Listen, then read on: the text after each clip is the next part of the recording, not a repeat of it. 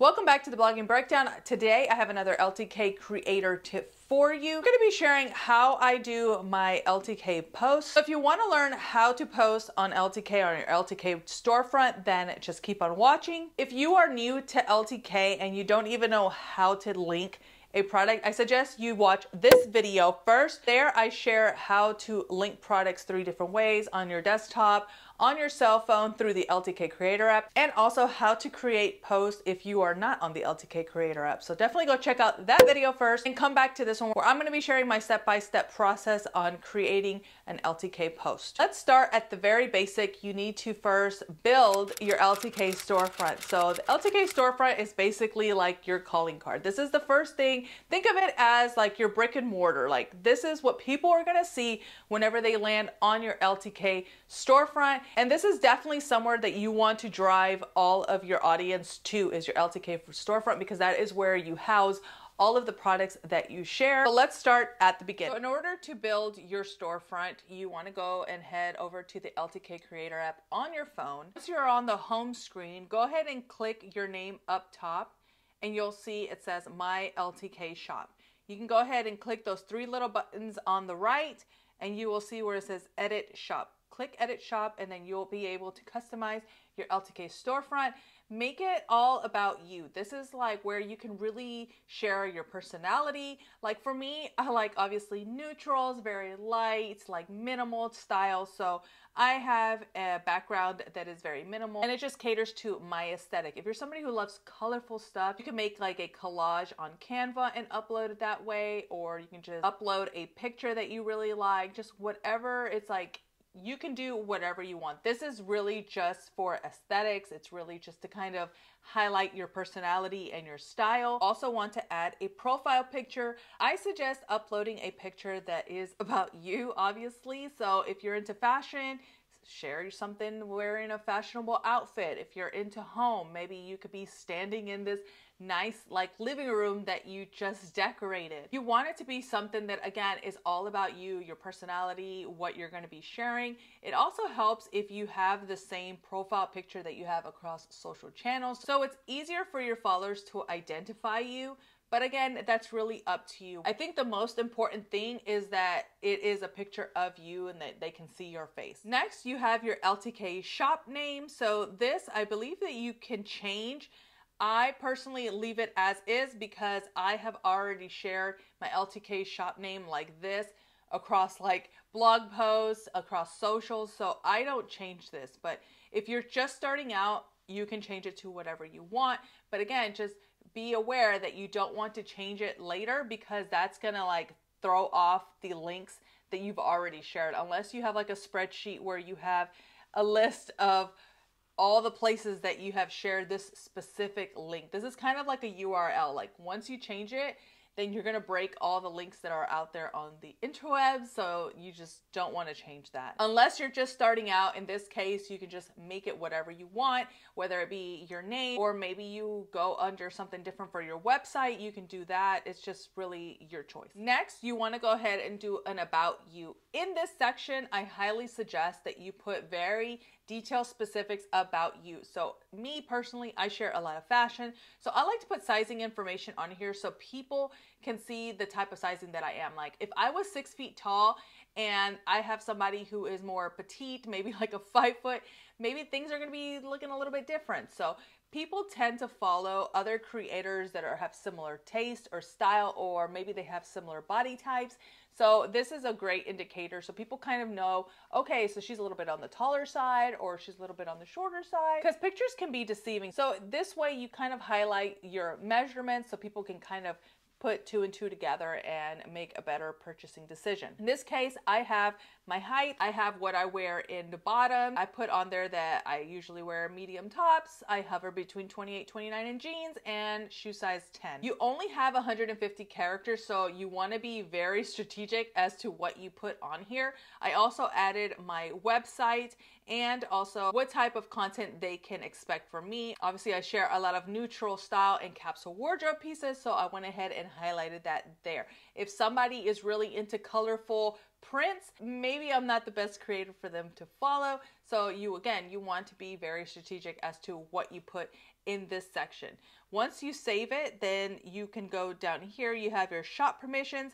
Um, I had a virtual assistant. If I wanted to give her access to my LTK storefront, I would toggle this over to the right. You can just give permissions to if you have a virtual assistant or just have an assistant that works with you, you can do that.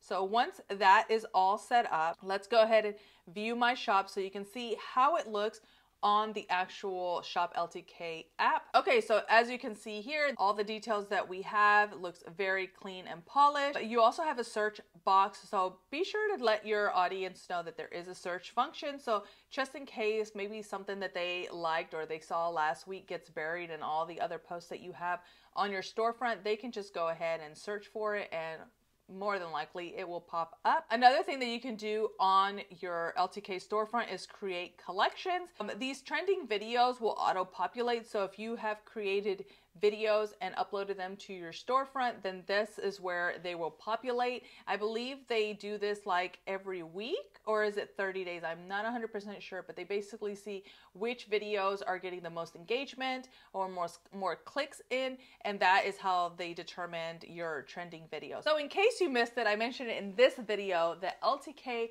highly, highly suggest you create video content. It's what the brands are asking from LTK, and so LTK is asking that of the creators. So again, give the people what they want create those videos. Next up, there is the products section. Here you can basically pick certain products. So even if you don't have a specific collage or a picture of you wearing an item, but you really want to highlight it because you think it's beautiful, then you can just pick certain products and put them here in this products section and then start your storefront. So here's where all your entries are going to be housed. Doesn't matter if it's a collage, a video, or a still, it's just all going to be on here. So let's go ahead and create our LTK post. So whenever you are on your LTK creator app, this is where you're going to be creating the post. You cannot create the post on your desktop yet. Hopefully that'll come out soon. As of right now, you can only create LTK posts on the LTK creator app. So if you're not a creator, you're not going to be able to download this app or sign on to it. So, so first you want to make sure that you are accepted to the LTK program. If you want to learn more about how to get accepted to LTK, definitely check out this video. Whenever you go onto your creator app, go ahead and click the shop button. You're going to see this big old plus sign on the lower right hand corner. Go ahead and click that and it's going to pull up a new post. First thing I like to do is click on the add photos or videos. This is basically your library of videos and pictures that you have already uploaded to LTK, which you can also do if you like, let's just say you just took a new picture and you want to add it on here. Whenever you add photos and videos, it's gonna give you this enable access to add photos. Go to select photos. Oh, there is a little glitch. It has been doing this lately, so basically I just have to go back into it this is actually very annoying. So click the photos, select photos, and let's just say I'm going to do this one. I'm going to add that, and it's somewhere in here. I'm sure it's this one right here. so once you click it, you hit next. This next section, you can actually crop it to whatever you want. So uh, if you want it shorter, this one, if you hit original, it's going to give you the actual dimensions of the picture or video that you took. I personally like to do this 9 by 16. The reason I do this is kind of goes back to Pinterest, why they have longer posts. Whenever you're scrolling, the longer the post is, the more your um, post is going to be on the shopper's screen. So if it's something very small, as they're scrolling, it doesn't take very long or much of a scroll for you to be off their screen. So in this case, the longer that the post is, the longer you're going to be on their screen. And this is just me thinking, but I feel like that is going to, you know, the longer they see it, then the more likely they might click on it and buy from you. So I do the 9 by 16 hit done, I have my picture there. The next thing I do is add my caption. So in this case, this is products that I had linked for the Sephora spring sale. So I wanna go ahead and add keywords in this section because Again, this is just my theory. In the discovery feed on the LTK Shopper app, people can search different keywords. And so I feel like if the keyword is in the description, chances are that LTK might serve those posts to the people searching those products. So in this case, I'm going to say Sephora Spring Sale, if I can spell, favorites. And I mean, you can go even further and say like all the products that you have on here. So this is the Charlotte Tilbury uh, pressed. Actually, it's called the airbrush. I don't know why I'm capitalizing every single one. This is just the blogger in me. Whenever I do titles, I do that. Airbrush powder, I think it's called. Um, anyways, and you can go ahead and list those if you want. The next thing you want to do is pick a few of the categories that this um, picture or video should go into. So in this case, LTK by Sephora, because they're going to probably have a search bubble all about the Sephora products that people can buy for the sale that's coming up. Also, um, a sale, not seasonal, sale alert because there is a sale that is happening. Um, and then I will also do LTK Beauty. Now you can only pick three. If you want to add more, you can just type it in here. So you can just do hashtag um, LTK, I don't know, under finds, under 50. So if you want to do more hashtags, you can definitely do that if you want. Um, but you can only physically pick three. Once you've finished with your description, you click done. Then you're going to go ahead and add your products. So there are two ways that you can kind of do this. If this is like the first time you've ever posted this video or flat lay or if it's a collage, then you'll need to go into your folders and look for them. I think I have these under Sephora, if I can spell, Sephora sale. So under my Sephora sale, see I have the air, oh, it's called Flawless Finish. Airbrush Flawless Finish. I have the lip cheat in there as well. Um, I have the Pillow Talk lipstick and the matte bronzer all in that picture. Um, so I have my products here. You can see at the bottom, there's the four. I click next and then those are my pictures. Um, sometimes you can go ahead and link products that are similar to what you're sharing. So if I am doing more of a styling video and maybe the items that are I'm styling are sold out, you can always link to similar products here. If you want to be very specific, you can click on those buttons and it will push up the product to exact products. In this case, I have all of these are exact products. So I'm going to go ahead and add the post and there you go. You have all of your products on the bottom. In this section, you can add it to collections. So if you have a collection, you can either add one or you can populate it into an existing collection. In this case, I have one here for the Sephora sale. So I'm going to click that and click next. And then I'm going to publish. That is going to publish my post to my storefront. If you are posting a picture, then as soon as it tells you it's finished, it's posted. If you're doing a video, you will see on the top of here, I don't have it here, but you will see that it's loading. You want to make sure that you keep your LTK Creator app open until it's finished loading and it actually posts because if you just automatically like X out and it hasn't fully uploaded the video, then you're probably going to get an error message and it's not going to post immediately to your storefront. Now you have the product on your actual storefront. So as you can see, I just posted this one today. Now, this is what I do whenever I am sharing across social, especially on Instagram. I make sure I create the LTK post on the creator app first, so that way I'd actually have a post to drive all my audience to. So in this case, if I want to share this on Instagram, I will go ahead and open my LTK post and you'll see right here it says share post. And you have a few options, so it just really depends on where you want to share it to. If you want to share it to stories, if you want to share it on Pinterest, Facebook, Twitter or X, whatever they call it nowadays. I'm going to go ahead and post it to my Instagram story. So I'm going to click Instagram. You can leave the logo overlay if you want. I choose to hide it because I just don't like it. And then click share. This is basically going to open up your Instagram. So as you see here, I am on my Instagram stories.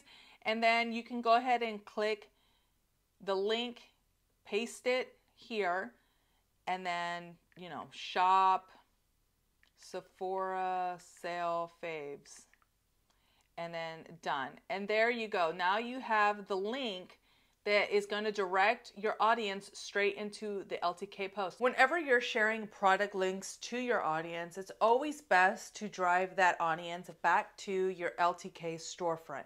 The reason for this is that you can take advantage of the LTK auto follow feature. So when people land on your storefront, they are automatically added as your followers. Another reason you want to drive your audience to your LTK storefront is because that gives them a chance to actually take a look at all the other items or categories that you might be sharing there. So whether it's beauty or home, or maybe you share a lot of like kid stuff, chances are they might stumble upon another post that they like and buy from you. Another great feature, and this is kind of like a newer feature on LTK, is that your audience can actually comment on some of the posts on your LTK storefronts. So even though it's highly encouraged that you go like really detailed on your product descriptions, sharing like the sizing that you're wearing, how it fits, what you think of it, and all of that stuff, Sometimes they have additional questions and then they can go ahead and ask you that on the comment. We'll be notified whenever you do get a comment, so be sure that you are engaging with your audience. Again, we're trying to build that like, know, and trust. And so when they see that somebody's taking the time out to actually answer their burning questions, then they're more likely to continue to follow you and see what else you have to offer. By interacting with your audience, that's also going to boost the engagement of those posts. And those are the posts that get populated to the discovery feeds on the LTK shopping app. So be sure to engage with your audience and keep posting. I hope this tutorial was helpful for you. Again, don't forget to check out all my other LTK creator tip videos. If you're not already a subscriber, I'd appreciate it if you hit that subscribe button so you don't miss any future videos. Go ahead and give me a thumbs up if you found this useful. And if you have any other questions that you want me to answer, don't forget to leave those on the comment box down below. Be sure to get to those and get you on the schedule. I hope you'll have a great day and we'll chat soon. Bye.